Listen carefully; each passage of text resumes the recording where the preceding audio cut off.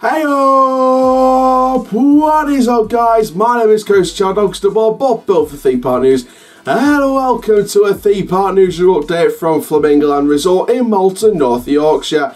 Now this update is all about topping off the lift hill on their 10 inversion roller coaster opening at the park in 2020 Hopefully I'll try and be down there for the opening day, but I'm going to talk about that a little bit more and my thoughts on what it's going to be like when it's open and what's been going on and things like that. So stay tuned for all of that. Make sure you also stay tuned by liking, commenting, subscribing and clicking that notification bell so you never miss any of our YouTube updates. And now let's zoom into the video. I hope you guys are doing it all at home. Zooming into the video. If you're doing that, please send it to me on Instagram. The Instagram link's in the description down below. If you're copying my intro and you want to try and impersonate my intro, please send some down below and I'll share them. It'd be a right laugh. If anyone's if anyone's getting into the groove of the intro, if anyone's sort of getting into the intro like the hey-oh and the zooming into the video, so make sure you send the Instagram link down below. Private message me, it'll be fun. Um, but let, it'd be good for the highlights end of the year.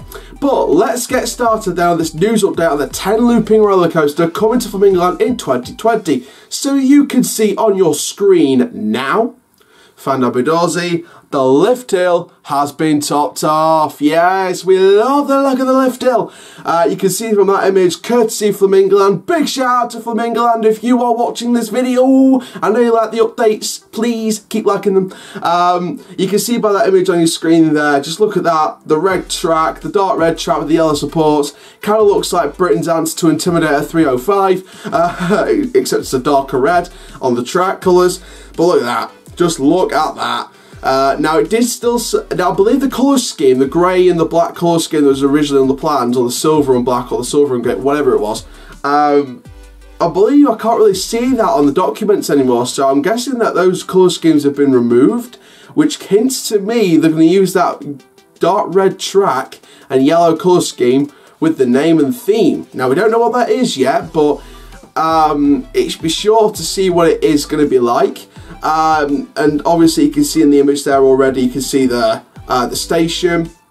You can start to see now where that coaster is going to come out of. There's no like, it's not like any other coaster like Velocity for example, it's like a slight turn off or uh, like a slight sort of S-bend or anything like that into the lift hill. It's just straight into the lift hill.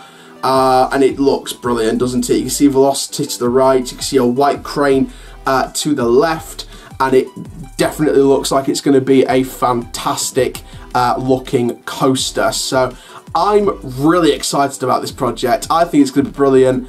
Uh, I don't know what you guys think, but I'm really excited for it anyway. Um, you know, I think that this is going to be one of the biggest additions to the UK theme parks uh, throughout this se next season, uh, along with Tornado Springs, World of David Walliams, uh, the Minilog Flume and Toadies reroute at Chessington. You know, there's a lot of things going on in the UK next year, and I think that this coaster is going to be right up there with the top of the list uh, with the best in the UK next year. So I'm super excited about this project. I hope you guys are really excited about this project as well. Big shout out to the team at Flamingo. They're doing a fantastic job teasing this all the way through the winter season.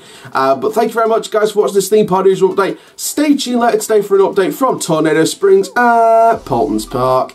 Later on this week, we've also got updates from parks like Parks Province.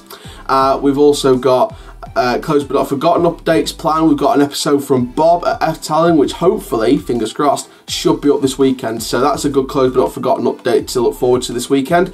But for now, guys, thank you very much for watching this theme park news update. Make sure you like, comment, subscribe, and click the notification bell so you never miss a YouTube video. And for now, guys, my name is Coaster Chall, Killer in the Coastal Life, and I'll see you guys in the next video very, very soon. Take care. Have an awesome day.